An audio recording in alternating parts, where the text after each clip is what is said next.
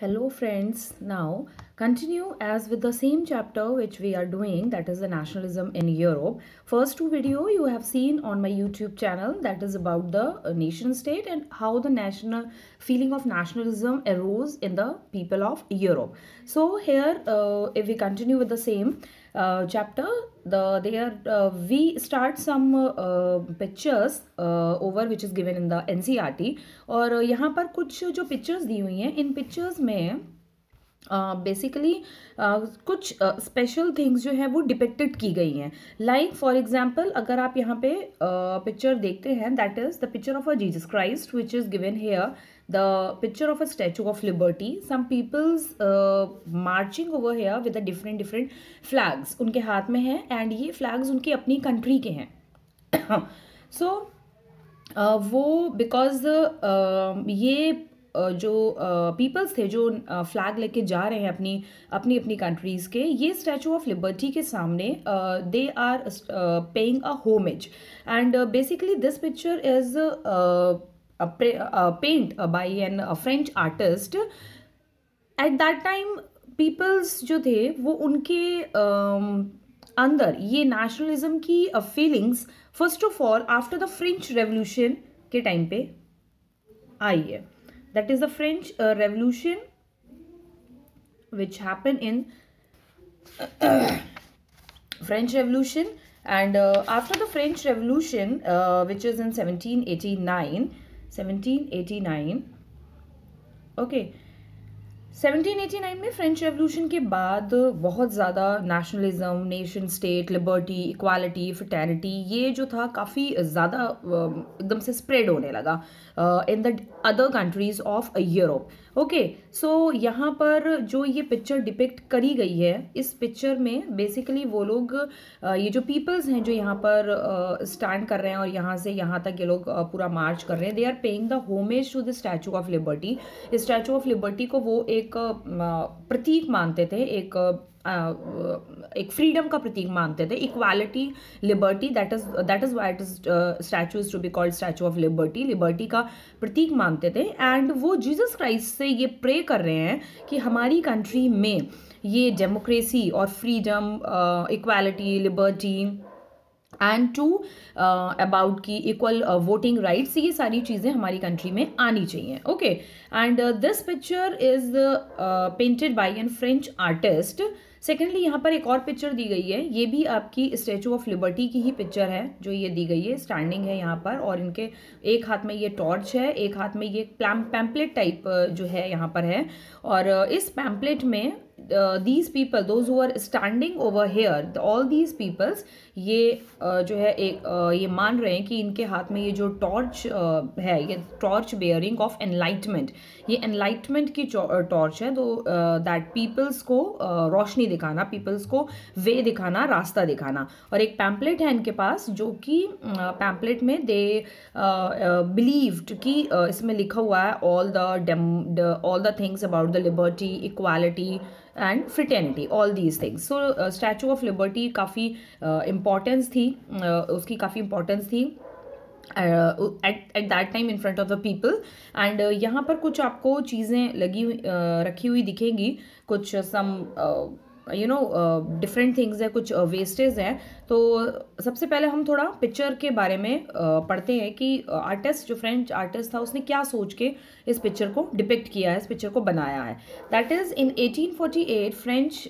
Frederic Sorrieu a French artist prepare series of four prints visualising his dream of a world made up of democratic and social republic so he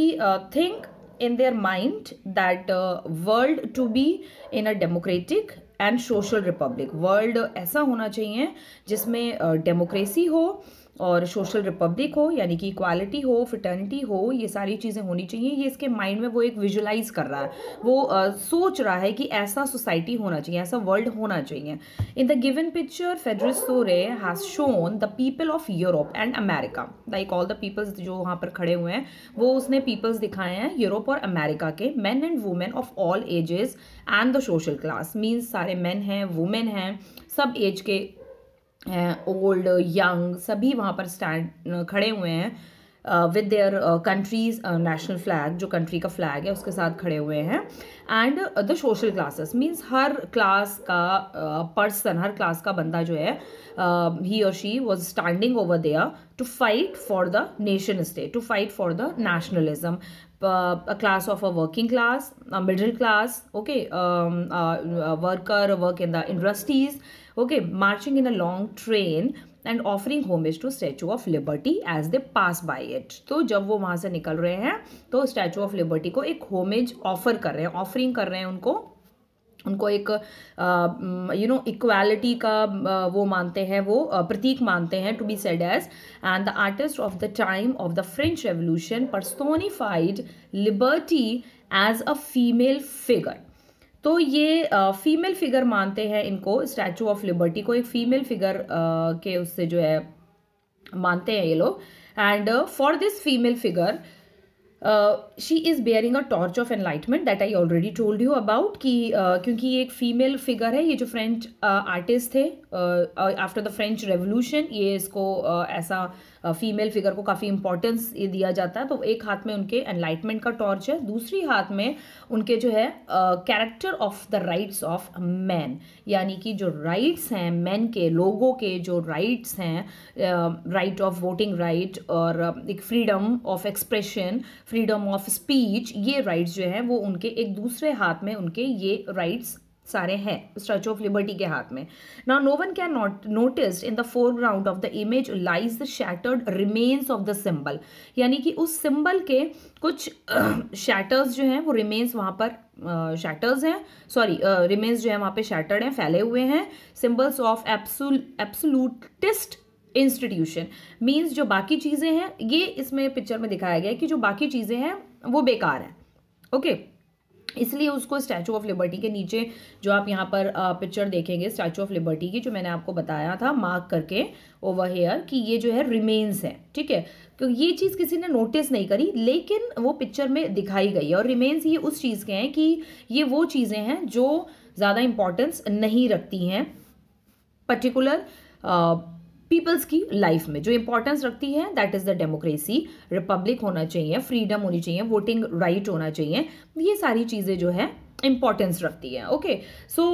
इस picture में uh, ये इसके बारे में uh, दिखाया हुआ है basically so nationalism की feeling after the French revolution ज़्यादा इंपॉर्टेंस uh, रखने लगी ज़्यादा स्प्रेड होने लगी डिफरेंट डिफरेंट कंट्रीज़ में यूरोप के डिफरेंट कंट्रीज़ में.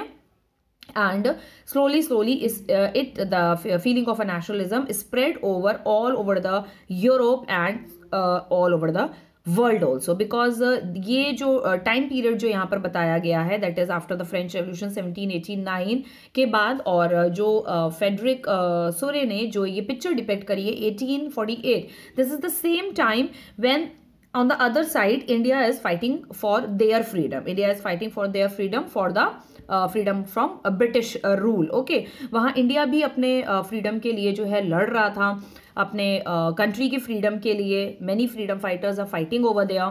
for their freedom for the freedom of the country okay so this is the same तो इंडिया uh, में भी वहाँ पर नेशनलिज्म की फीलिंग्स एरोज हो रही थी पीपल्स के अंदर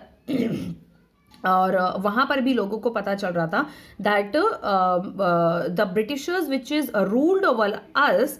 it is not correct यहाँ पर ये सही नहीं था। ये हमें अपनी फ्रीडम uh, से हमको वंचित किया जा रहा है। हमारी फ्रीडम हमसे छीनी जा रही है। तो यहाँ इधर इंडिया अपनी फ्रीडम के लिए इंडियन पीपल्स अपनी फ्रीडम के लिए लड़ रहे थे। अपनी इक्वालिटी डेमोक्रेसी आनी चाहिए कंट्री में। ऐसी गवर्नमेंट होनी चाहिए जो कि government elected by the people are particular representative should be there and that representative elected by the people and then जो भी गवर्नमेंट बनती है then they rule the country और they